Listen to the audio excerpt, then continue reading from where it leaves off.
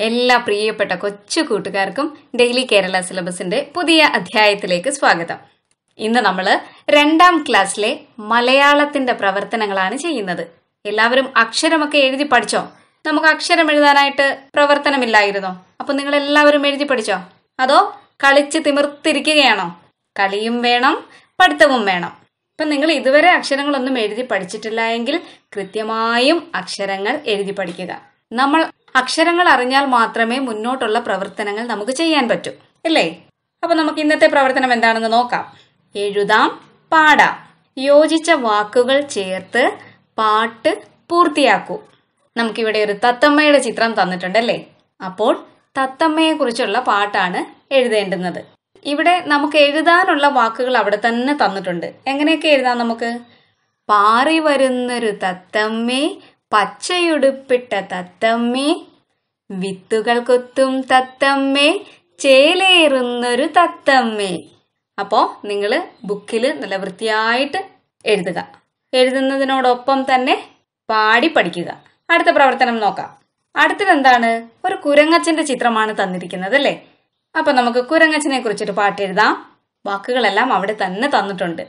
വാലു നീണ്ട കുരങ്ങച്ചൻ വള്ളിയിൽ തൂങ്ങും കുരങ്ങച്ചൻ കൊക്കിരി കാട്ടും കുരങ്ങച്ചൻ പഴങ്ങൾ തിന്നും കുരങ്ങച്ചൻ. പാട്ട് ഇഷ്ടപ്പെട്ടോ നിങ്ങൾക്ക്? അപ്പോൾ നിങ്ങൾ പാട്ട് പാടി പഠിക്കുക ഇനി രണ്ടാമത്തെ പ്രവർത്തനം നോക്കാം. വിട്ടുപോയ വാക്കുകൾ എഴുതാം. വാക്യങ്ങൾ വായിക്കാം. ഇവിടെ നമുക്ക് ചില മൃഗങ്ങളുടെ ചിത്രവും പക്ഷികളുടെ ചിത്രവും തന്നിട്ടുണ്ട്. സിംഹത്തിനെ തന്നിട്ടുണ്ട്. പിന്നെ കരടി കടുവ മയിൽ തത്ത മുയൽ. ഇവിടെ മയിലും തത്തയും പക്ഷികളാണ്. ബാക്കി എല്ലാവരും മൃഗങ്ങളാണ് അല്ലേ? അപ്പൊ നമുക്കിനി താഴോട്ട് വായിച്ചു നോക്കാം എന്താണ് ഇവിടെ തന്നിരിക്കുന്നതെന്ന്.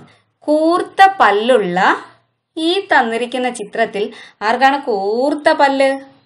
സിംഹത്തിനും കടുവയ്ക്കും കരടിക്കുമൊക്കെ കൂർത്ത പല്ലാണല്ലേ? അപ്പൊ നമുക്കിവിടെ സിംഹം എന്ന് എഴുതാം. കൂർത്ത പല്ലുള്ള സിംഹം. നീണ്ട ചെവിയുള്ള ആർക്കാണ് നീണ്ട ചെവി? മുയൽ. നിറയെ രോമമുള്ള കരടി. കറുത്ത വരയുള്ള കടുവ. മയിലിന് നമുക്ക് എന്തെഴുതാം? വർണപ്പീലിയുള്ള മയിൽ. പച്ച നിറമുള്ള തത്ത. ഇല്ലെങ്കിൽ ചുവന്ന കൊക്കുള്ള തത്ത. ഇതിലേതെഴുതിയാലും മതി. ശരി. ഇനി നമുക്ക് പാടി രസിക്കാനാണ്.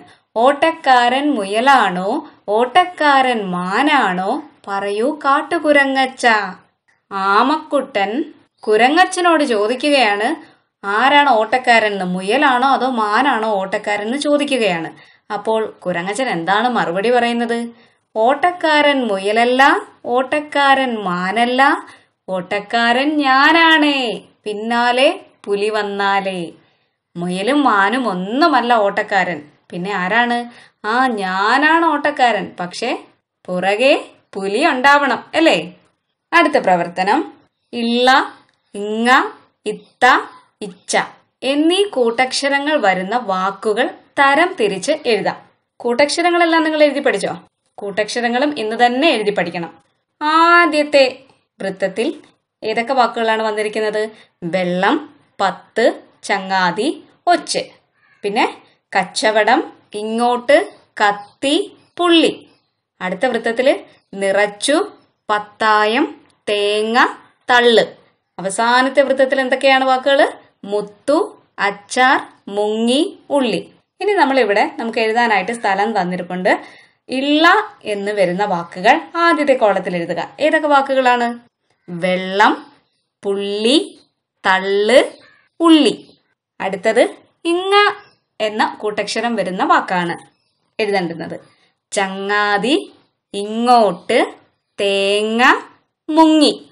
അടുത്ത കോളത്തിൽ ഇത്ത എന്ന കൂട്ടക്ഷരം വരുന്ന വാക്ക് എഴുതണം. പത്ത് കത്തി പത്തായം മുത്തു. അവസാനത്തെ കോളത്തിൽ ഇച്ച എന്ന കൂട്ടക്ഷരം വരുന്ന വാക്കുകൾ എഴുതണം. ഒച്ച് കച്ചവടം നിറച്ചു അച്ചാർ. അടുത്ത പ്രവർത്തനം ആരാണ് ഞാൻ? നമുക്ക് നോക്കാം. പാൽ കുടിക്കും പമ്മി നടക്കും. എലിയെ കണ്ടാൽ പുലിയായി മാറും. നായെ കണ്ടാൽ ഓടിയൊളിക്കും പാൽ കുടിക്കും പമ്മി നടക്കും. എലിയെ കണ്ടാൽ ഈ പറയുന്ന ആൾ ഒരു പുലിയായിട്ട് മാറും. പക്ഷേ നായയെ കണ്ടാലോ? അപ്പോഴേ ഓടി ഒളിക്കും നമുക്ക് മനസ്സിലായി ആരാണ്? പൂച്ച. അപ്പൊ ഇവിടെ പൂച്ചയെന്ന് എഴുതണം നിങ്ങൾ അപ്പോൾ ഇത്രയുമാണ് നമ്മുടെ ഇന്നത്തെ പ്രവർത്തനം.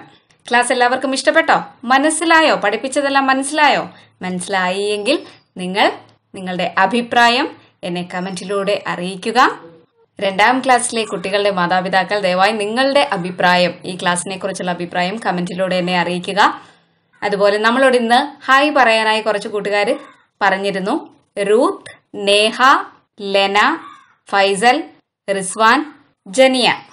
അപ്പോൾ ഇത്രയും കൂട്ടുകാർക്കും ഈ വീഡിയോ കണ്ടുകൊണ്ടിരിക്കുന്ന എല്ലാ കൊച്ചു കൂട്ടുകാർക്കും എ ബിഗ് ഹായ്. അപ്പോൾ നിങ്ങൾക്ക് ഈ വീഡിയോ ഇഷ്ടമായി എങ്കിൽ ലൈക്ക് ചെയ്യാനും ഷെയർ ചെയ്യാനും കമന്റ് ചെയ്യാനും മറന്നു പോകരുത്. പിന്നെ നിങ്ങൾ ആദ്യമായിട്ടാണ് ഈ വീഡിയോ കാണുന്നതെങ്കിൽ ഒന്ന് സബ്സ്ക്രൈബ് ചെയ്യുക. സബ്സ്ക്രൈബ് ബട്ടന്റെ തൊട്ടടുത്തുള്ള ബെല്ലൈക്കൻ പ്രസ് ചെയ്ത് അതിലെ ഓൾ ഓപ്ഷൻ കൊടുക്കുക. അപ്പോൾ ഞാൻ വീഡിയോസ് അപ്ലോഡ് ചെയ്യുമ്പോൾ തന്നെ നിങ്ങൾക്ക് നോട്ടിഫിക്കേഷൻസ് ലഭിക്കും. ശരി അപ്പോൾ ഇനി നമുക്ക് അടുത്ത ക്ലാസ്സിൽ കാണാം.